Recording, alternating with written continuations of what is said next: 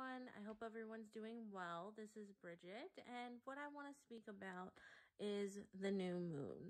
And the phase that it's in right now is the phase of Gemini. So the last four days it was in Aries and Scorpio, but it has now changed.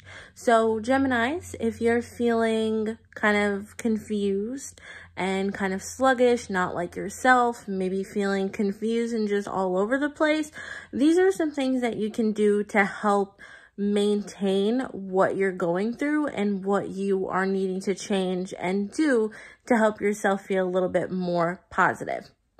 Now, decluttering certain areas in your home, cleaning up a little bit. You don't have to do a full spring clean, but just areas that have been needing to be decluttered, whether it's your altar, whether it's your meditation process, wherever you kind of do your meditation or you do something specific in that area, clean it up a little bit, declutter it, open up some windows, let in some positive air and some positive energy, and you'll definitely be feeling a whole lot better. And I can tell in Gemini moods, you know, you're also looking for change. You're looking for something new. So things also in your love life are going to be kicking it up a notch. So if you've been experiencing kind of up and down and rough patches in your love life, I wouldn't take that as something that you're doing wrong or something that your partner is doing. It's just a way that the phase is in right now. Things are kind of going to be off balance. It's not going to be as bad as going back into Mercury retrograde.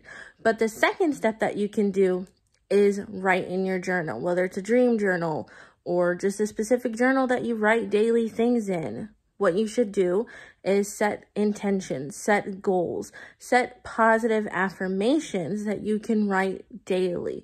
Whether it's, you know, negative things that you kind of want to lay out and start airing out that energy, you can definitely do that as well.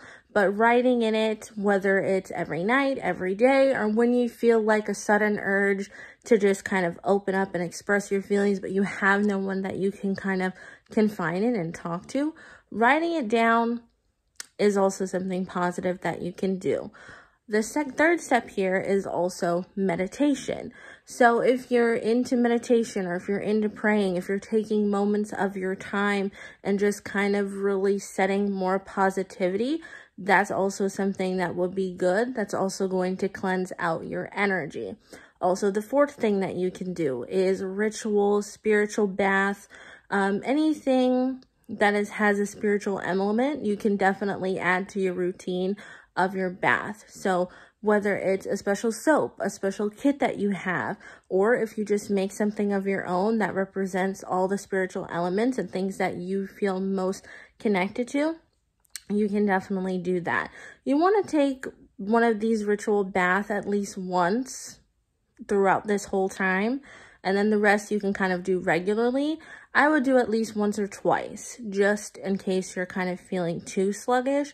But other than that, you want to stay positive, stay focused, and continue to be in a much more positive space and not let this negativity cloud your mind and affect you negatively. So those are just some steps that can help you progress and go through these different phases that you may be experiencing negatively. So continue to be patient, continue to be positive, but I can tell that things are definitely going to be improving and things after you phase out of this moon will be a lot more smoother but just take your time right now. But I hope I was able to help some people with their journey to opening up their spirituality.